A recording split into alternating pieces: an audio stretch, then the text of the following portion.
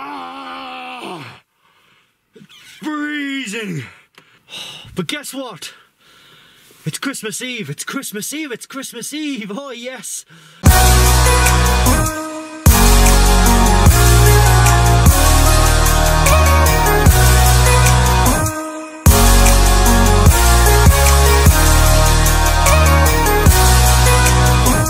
What a wonderful time to be alive. Christmas Eve. I absolutely love Christmas Eve. I love Christmas. And um, Merry Christmas to you. Thank you, one and all, for all of your support this year on the channel.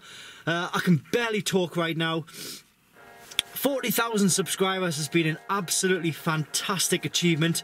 Uh, I'm so happy, I'm so thankful, I'm so grateful for all of your support. So I really just wanted to make a video saying thank you um, and maybe put something out on this Christmas Eve uh, that's maybe a little bit different. I'm still going to involve the cars, uh, but I'm also going to be doing a few of the things like, um, well, I'll tell you exactly what I've got planned. Actually, no, I won't. You can wait and see later. But I will tell you one thing that I'm going to be doing this morning. First of all, first job on the list on this festive Christmas Eve. Uh, wouldn't be Christmas if I wasn't playing with one of my cars.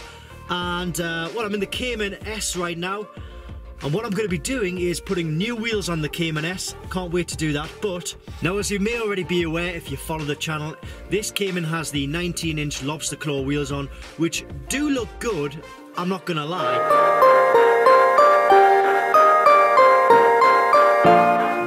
I want to put my own stamp on the car. The 19 inch lobster claws came with the car, but I want to put my own wheels on it. Something which is a little bit different, something which hasn't really been done before. In fact, the wheels that I'm going to put on the car, I've only ever seen one photograph online. This doesn't mean it hasn't been done in the world, but I've seen one photograph in the whole of Google with this Cayman with these wheels. So um, I'm fairly sure it will work. We'll get into it and we'll soon find out sooner or later if it's going to work or if it's going to fail um, massively. So first of all, as usual, I need to move a few cars around. Now that I've got the Boxster back, um, the driveway is a little bit more cramped. Uh, first world problems, I know, bad problems, good problems to have, um, whichever way you look at it. But uh, I'm not complaining, let's move some cars.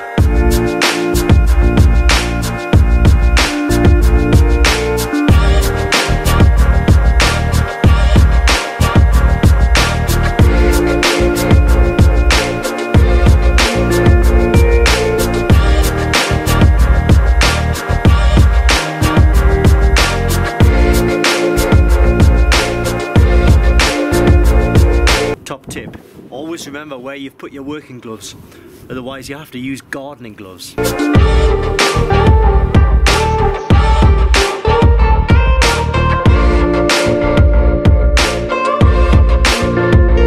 don't know if it's a sign, but every time I've changed a wheel over, this leaf has been following me everywhere I've gone.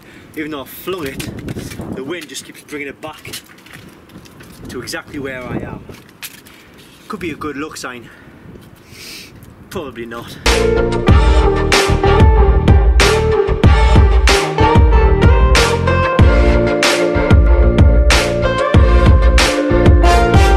Back inside the car now, still freezing my ass off. Um, I think I definitely underestimated how cold it actually is this morning. Christ, I need to go in, and have a good warm up before we go on with the rest of the day. But the news is, the new wheels are on the car now. Um, well, before I tell you anything, just take a look at them and see what you think.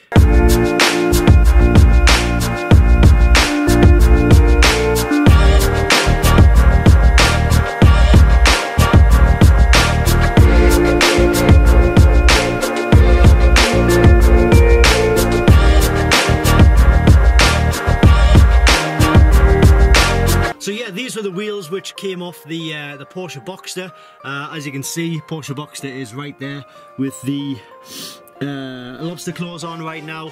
Whether I'll be keeping them on there or not, I don't know. They do actually look good, so maybe I will, maybe I won't. Obviously, the wheels that are on this car now, the Turbo Twist, they look great, I think.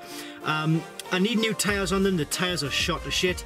And, um, well, they need a refurb as well. The wheels need a refurb because they are in pretty poor condition. So, hopefully I'll be getting that done. I was going to say within the next couple of days, but the chances are the refurb company that I use are probably going to be closed over the uh, the Christmas period. I'll give them a call. If it have to wait till the new year, then it doesn't really matter. in fact, I might be better suited just waiting till the spring uh, because I'll be using this car right through winter, so there'll be plenty of salt on the road, so I may as well just get them refurbed about March, April time actually. That makes so much more sense. Yeah, I'll do that. So I'm going to go off inside now, get myself warmed up, then it's off out to uh, Beamish.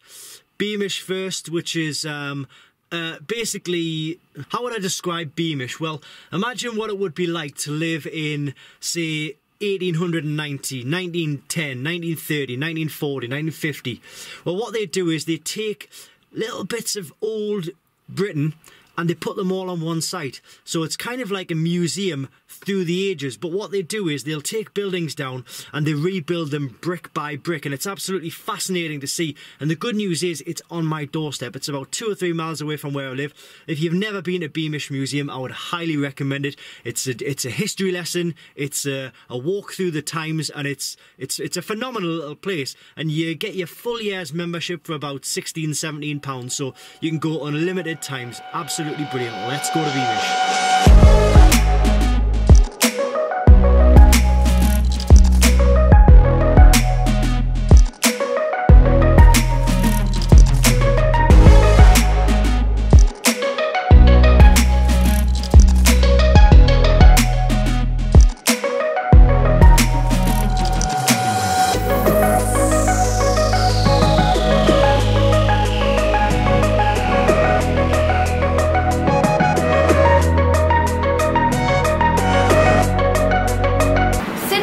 Do you work here?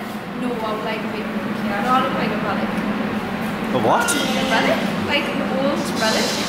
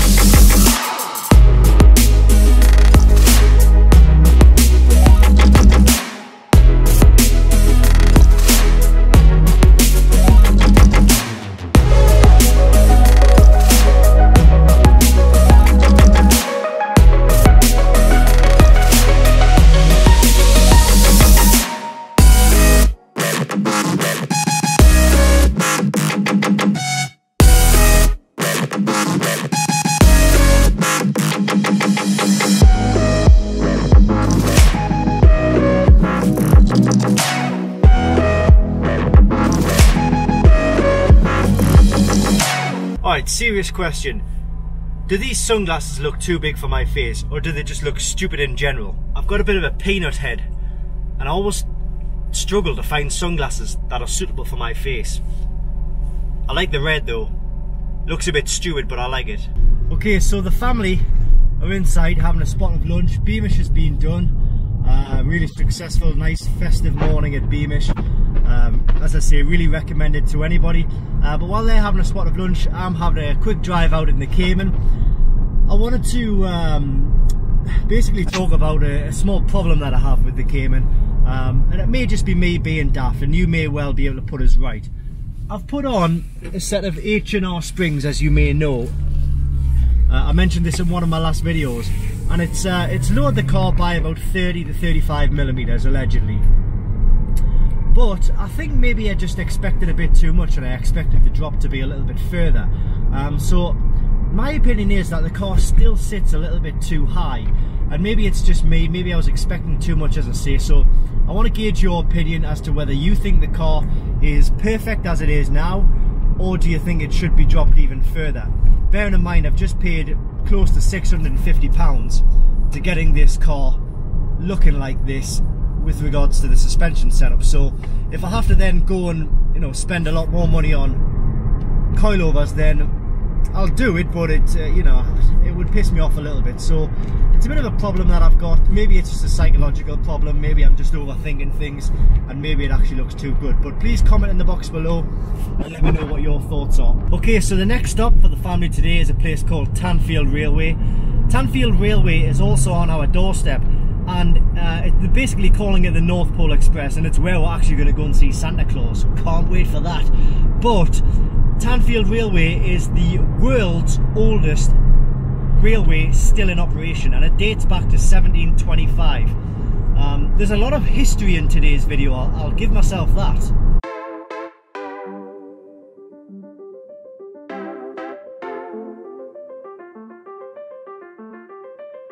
Alright, honestly, I've managed to get some VIP access into the sheds behind where all of the trains are at this oldest railway in the world.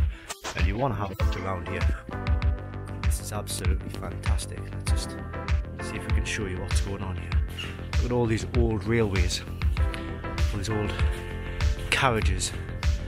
Just imagine these being on the on the rails 100 years ago 200 years ago.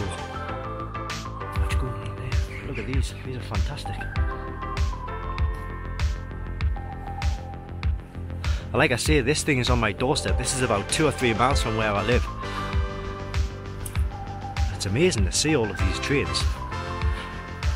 Which obviously, just nothing's happening with them. They're just sitting there. Just, it's kind of just like a, a graveyard for all of these workhorses from hundreds of years ago. That's magnificent to see. Look at this big beast here.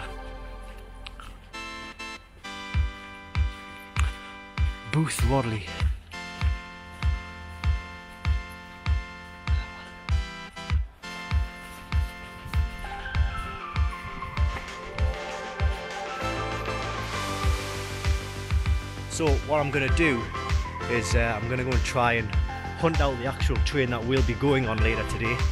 Um, I believe it's parked in this this area. Well, not this area here, but this this kind of uh, scrapyard, if you like, for the old train. So I'm going to go and find that. Um, it'll be interesting to see the actual train that we actually get onto. So let's go and uh, see if we can find it.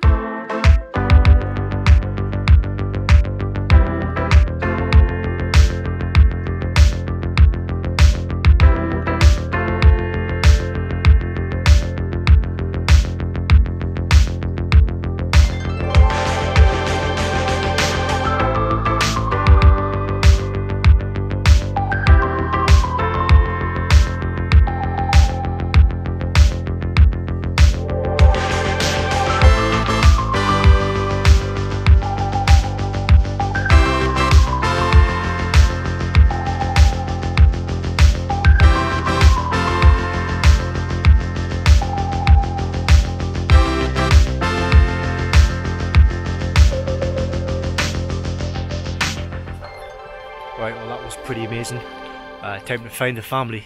And let's go on the actual North Pole Express and see Santa Claus.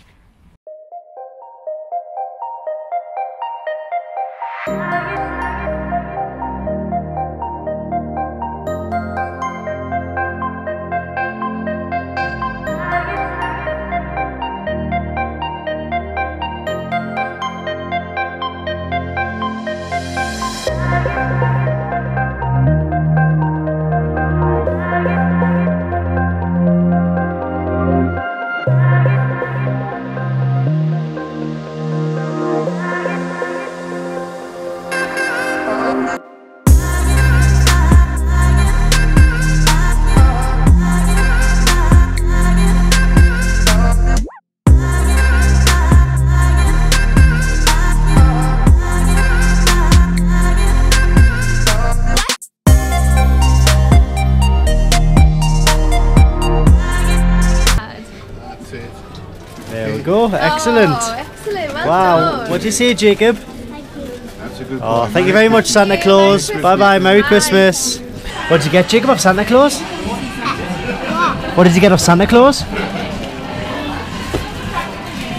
Was it a blue tractor? Brilliant.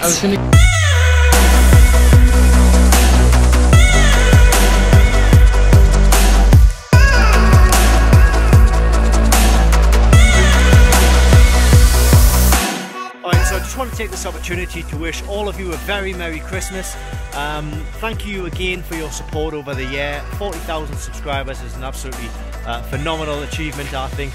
Uh, but it's all thanks to you guys. It's all thanks to you guys for watching, subscribing, liking, and commenting on the videos. So, um, as I say, Merry Christmas, have a Happy New Year. I will be posting a few videos over the Christmas period as well. Um, maybe nothing too special, but there's a few videos which I've got uploaded, which I just haven't really found the time to actually find a slot to actually upload, uh, sorry, publish onto YouTube. So, there's a few videos which will be coming, may not be very exciting. Um, I will also be posting a, a video on the 40,000 subscribers as well. Uh, I've got a few few giveaways for you as well, just because, uh, just as a thank you to say thanks for getting to 40,000 subscribers. A long may continue. I'm not about to slow down. I'm going at this full force till I get 100,000 subscribers, and even then I won't stop. Uh, I'm a man on a mission, so have a great Christmas. Thanks for all your support. Have a happy New Year, and I'll see you. Uh, well, probably probably in a couple of days. Haha. see you soon. Merry Christmas.